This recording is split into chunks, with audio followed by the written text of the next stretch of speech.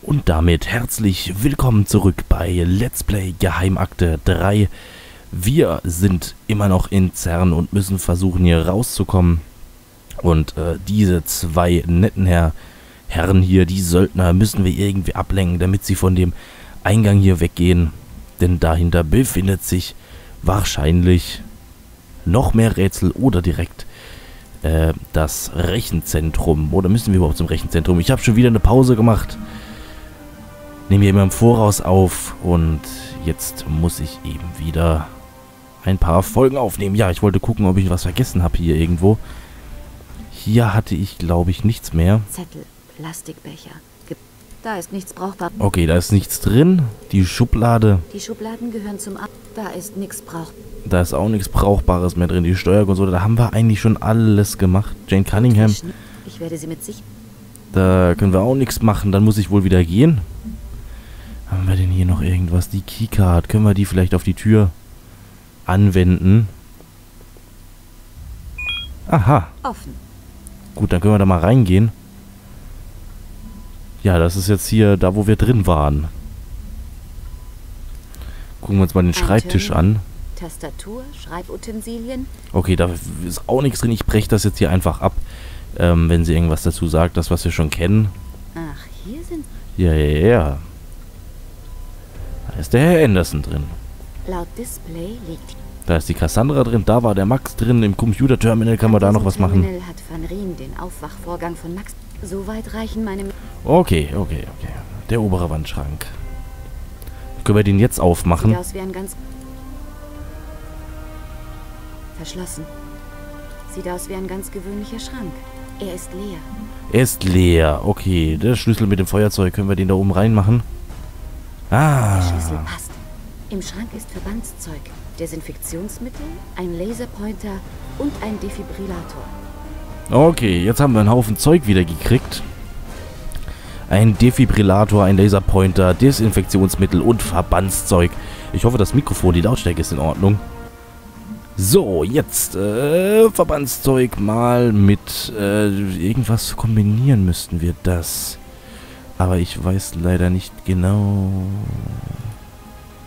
Wir könnten doch einfach irgendwas äh, brennen, irgendwas anzünden, damit da oben diese Sprinkleranlage angeht und dann die Wachen voller Schreck äh, wegrennen. Das wäre doch was.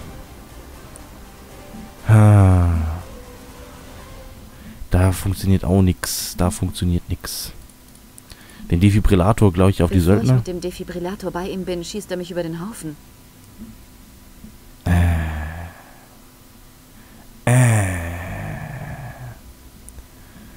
Ähm, nein.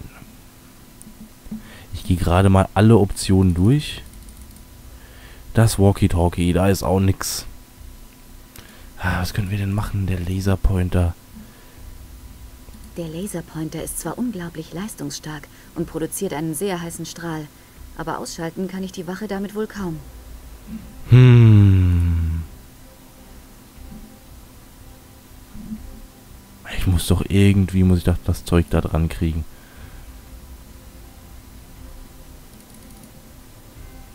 Ich denke wieder wahrscheinlich um fünf Ecken rum. Auf die Sprinkleranlage. Stimmt, dann geht die an. Ich ziele auf den Sprinklerkopf. Ah. Scheiße. Was soll das denn jetzt?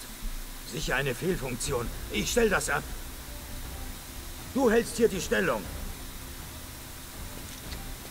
Okay, okay, okay. Prima, einer weniger. Hm. Wir müssen doch jetzt nicht mit dem Defibrillator da unten auf die Pfütze. Ich muss aufpassen, dass ich nicht im Wasser stehe.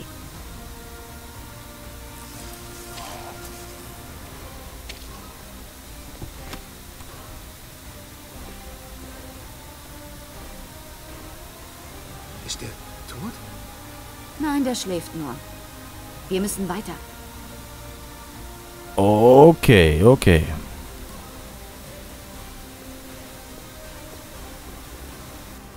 Verschließen Sie die Tür. Ich werde mich ins System einloggen und auf die Deaktivierung der Firewall warten.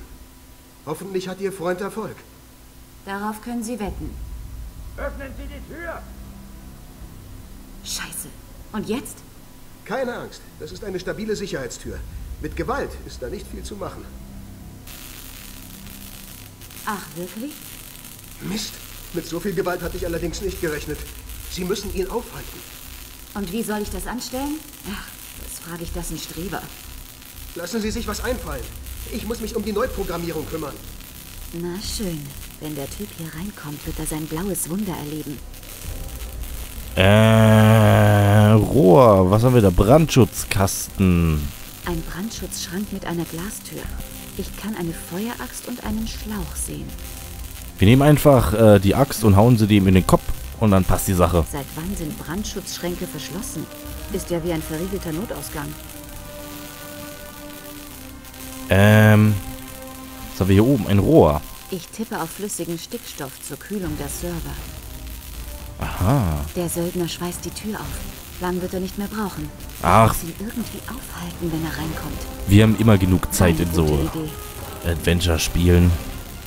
Ah, was könnte ich denn machen? Was könnte ich denn machen? Ein Defibrillator einfach wieder drauf. Ah, Moment mal, auf den Brandschutzschrank.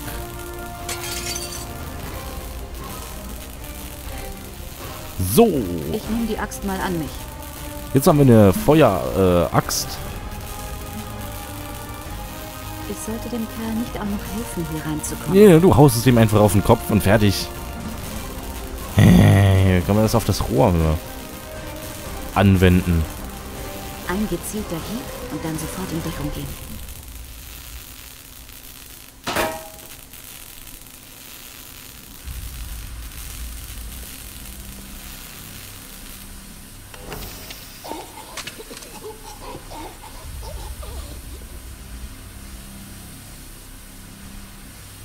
Keine Bewegung.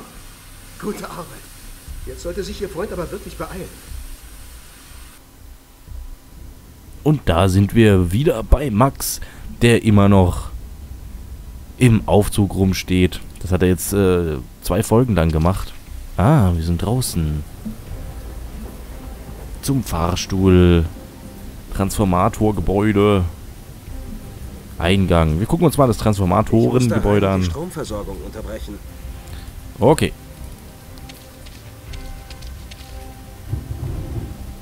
War ja klar. Verriegelt. Und die Keycard funktioniert hier nicht.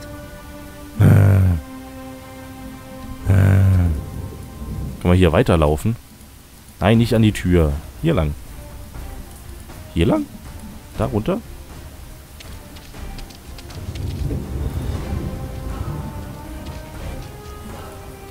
Ah, mam, mam, mam, mam. Hier geht's ja gar nicht weiter.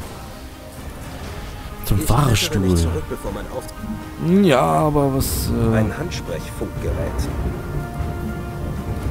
auf den Eingang? Ach so, vielleicht können die das Ob sich öffnen. das elektronische Schloss vielleicht von der Zentrale aus öffnen lässt? Ich frag mal nach. Nina für Max. Kannst du mich hören? Laut und deutlich. Alles klar bei dir? Wir könnten den Blackout jetzt langsam brauchen. Ich bin vom Generatorgebäude. Die Tür ist elektronisch gesichert. Weiß nicht, wie ich sie öffnen soll. Könnt ihr da von der Zentrale aus was machen?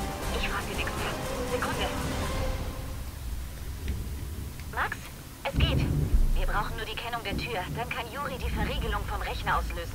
Gut, ich schau mal, ob ich die Kennung finde. Beeil dich bitte. War ja klar. Die Kennung Ich muss von da der... rein und die Stromversorgung unterbrechen. Die Kennung von der Tür? Nina! Nina, hörst du? Ja? Gut, ich schau mal, ob ich die Kennung finde. Beeil dich bitte. Ach so, da ist ein Schloss. Abdeckung, Schraube. Wir müssen die Schrauben wohl aufdrehen mit der Schlüsselkarte. Funktioniert doch immer wieder erstaunlich gut, so ein Schlüsselkarten-Schraubendreher. Äh, okay. Da ist die Kennung. Na, wenn das mal nicht die besagte Kennung dieses Schlosses ist. Können wir jetzt die Nina darauf aufmerksam machen, äh, dass wir die Ein Kennung gefunden haben? Kann ich hier noch was machen? Kabel? Einfach Oh mal ein paar nein, Kabel. dann gucke ich doch rein wie ein Schwein ins Uhrwerk. Das lasse ich lieber bleiben. Okay, haben wir, wir haben jetzt die Kennung. Das heißt, äh, ich kann die Nina anrufen. Die Kennung lautet XJ3486. Ich geb's weiter. Ist sicher gleich erledigt. Okay, beeilt euch. Hervorragend. Er hat's geschafft. Dann drücken Sie mal die Daumen, dass das mit der Deaktivierung des Stabilisierungsfelds klappt. Sie machen das schon. Was zum Teufel ist hier los? Wir müssen hier raus! Ohne mich. Ich muss das zu Ende bringen. Binden Sie mich gefälligst los.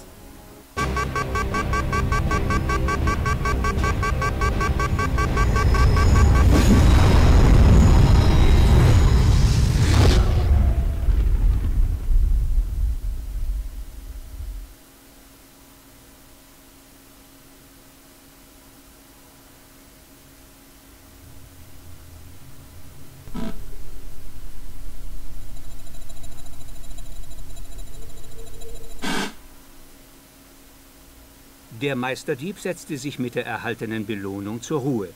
Über zwei Jahrtausende später widmete man ihm mehrere Computerspiele.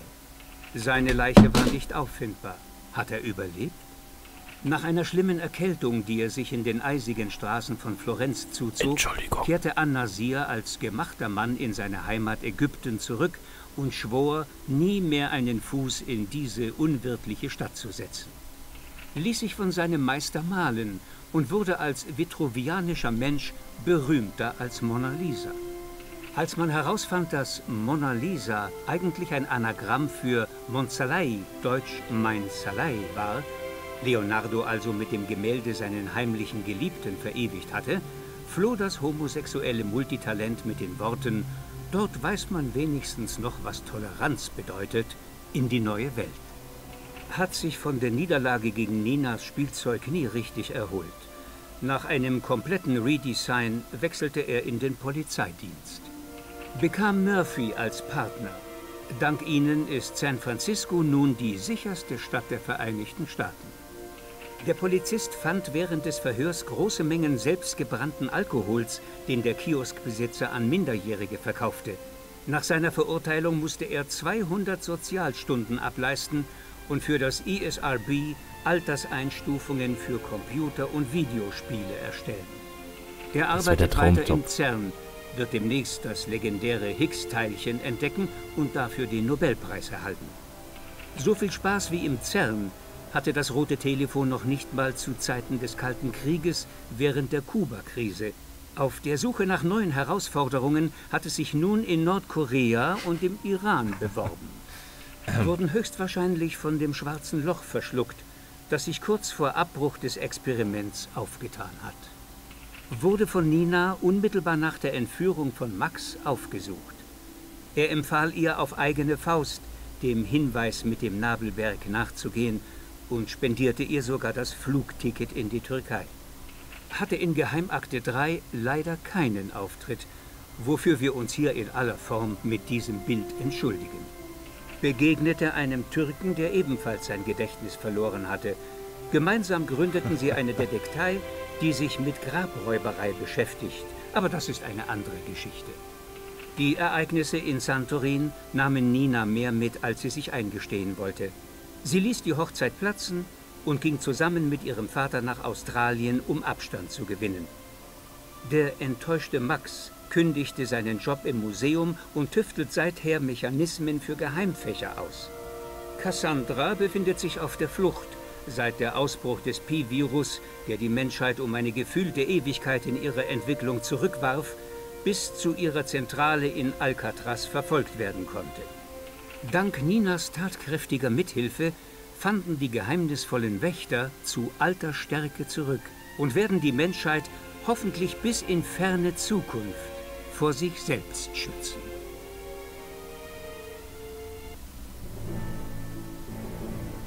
Und damit haben wir es geschafft. Ja, Geheimakte 3 ist fertig. Das erste Spiel auf diesem Kanal von mir persönlich durchgespielt. Das gibt's ja gar nicht ja, fände ich auch ganz nett, ähm, so ein bisschen was mit den Leuten passiert ist, was mit Murphy passierte, was mit dem Polizisten, was mit dem Chinesen, dem Kioskbesitzer und so weiter und so fort alles passiert ist. Fand ich alles ganz nett gemacht. Die Rätsel waren immer sehr fair, muss man dazu sagen. Es war nie so, dass man nicht wusste, was man tun sollte. Es gab immer eine Lösung. Und wer sich jetzt gefragt hat, wer ist denn Sam Peters? dieses äh, nette Mädel da, das man da gesehen hat, ähm, das ist eine, ich weiß gar nicht, war das eine Journalistin? Ich glaube eine Journalistin, die in dem zweiten Teil, glaube ich, äh, sehr stark äh, vorkommt und ähm, es auch ein neues äh, Geheimakte geben werde, so die Geschichte von der Sam Peters. Das wird dann die Geschichte von der Sam Peters erzählen. So, wir haben es geschafft. Ähm, ja, jetzt ist natürlich die Frage, ob wir Geheimakte Tunguska, ob ich das gleich machen soll, das weiß ich noch gar nicht. Oder ob ich ähm, erst was anderes rausbringe, das weiß ich noch gar nicht. Ob ich noch ein bisschen Abstand brauche, also ist das mal ein bisschen Ruhe vor Nina, Max und den ganzen Leuten. Oder ob wir einfach mal irgendwas anderes noch ausprobieren. Ich sehe ja gerade, ich gucke mal gerade hier hoch, ich sehe da noch Dishonored, Batman sehe ich da, SimCity, Bioshock. Alan Wake, also alles Spiele, die ich eigentlich noch machen wollte. Und ich denke mal, wir, oder ich suche mir da eins aus. Natürlich, wenn ihr, wenn, wenn ihr wollt, wenn ihr ein Spiel äh, gerne sehen wollt, das ich Let's Playen soll, dann könnt ihr natürlich gerne mir eine Nachricht zukommen lassen und ich werde dann auch schauen, ob ich das so bewerkstelligen kann. So, jetzt müsste dann auch bald der, äh, der Abspann durchgelaufen sein und ich bin auch fertig mit äh, dem Labern. Vielen Dank, Freistaat Bayern. Ja, jetzt, oh, jetzt, jetzt kommen, jetzt kommen die ganzen, äh, die ganzen Statistiken. Spielzeit in Minuten, 367, linke Maustaste, 1400 Mal. Hm, rechte Maustaste, 401. Okay. Lupenfunktion benutzt. okay. Gelaufene Meter, 6 Kil äh, 6 6024 und die Anzahl der Speichervorgänge waren 20 Stück. Das ist relativ viel für das, was ich... Ja. Ein Bild dieser Urkunde wurde gespeichert. Vielen Dank. Ja, und vielen Dank für euch, dass ihr zugeschaut habt. Und wir sehen uns dann beim nächsten Spiel. Bis bald. Oder bis zum nächsten Spiel. Macht's gut. Tschüss. Danke fürs Zuschauen.